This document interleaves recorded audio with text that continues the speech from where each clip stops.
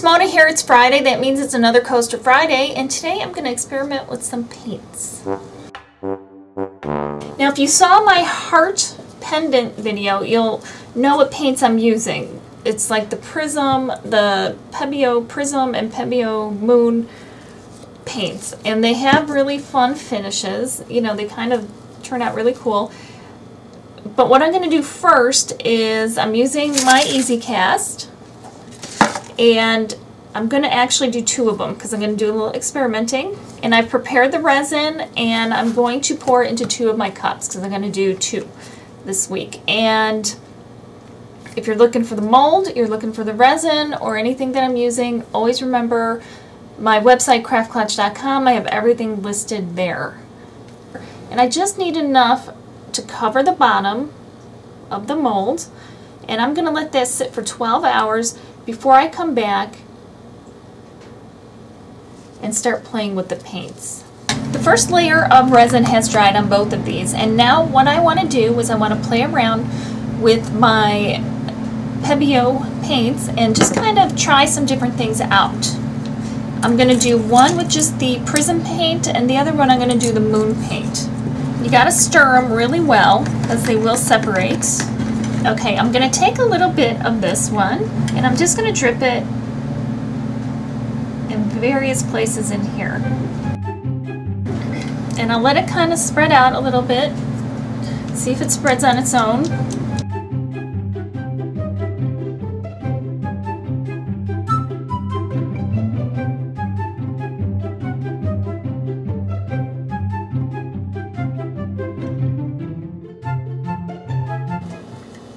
Now what I'm going to do is I'm just going to move the mold around a little bit to get it to the edges because I have plenty of paint on there and I don't know if that I want to mess with it with a toothpick or a stick. Maybe I do. So I'm just going to let it kind of run to the edge and it kind of swirls them a little bit too which is kind of neat.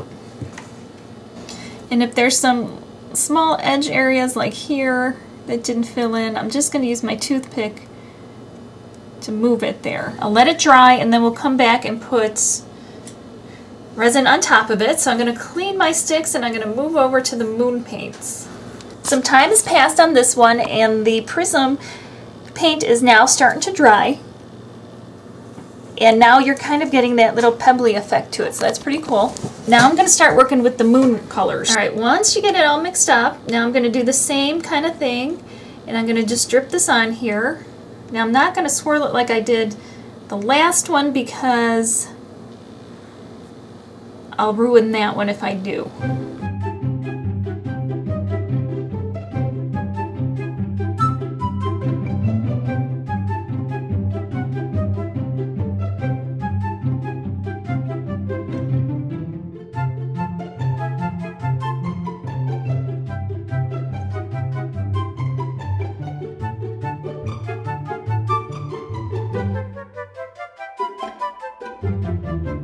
Now I'm going to let both of these sit and dry. I might take a toothpick, go along the edge if I got some, you know, smeared up in there just so it won't attach to the coaster later. The paint has dried on these coasters and now I'm just going to throw some more resin on there.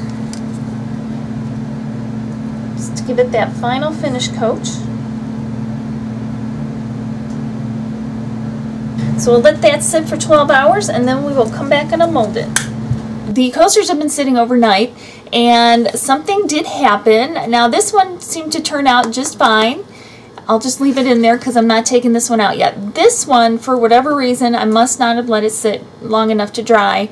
And I don't know if you can tell, but right about here, it's some of the blue color paint kind of floated to the surface. So I think what I'm going to do is just put another thin, thin layer over here and that'll seal it all up I'll let it sit for another 12 hours and then I'll come back. I'm back to unmold the coasters. Here is the one. This was the prisme paint and you can kind of see like the little honeycombish kind of look to it. And here's the other one that started floating and there's that one. So here are the two different coasters and the two different effects I got with it. So I hope you like it. It's kind of a, a neat little look to it and we will see you next time. Let me know which one you like better in the comments below. Happy crafting. Thank you so much for watching.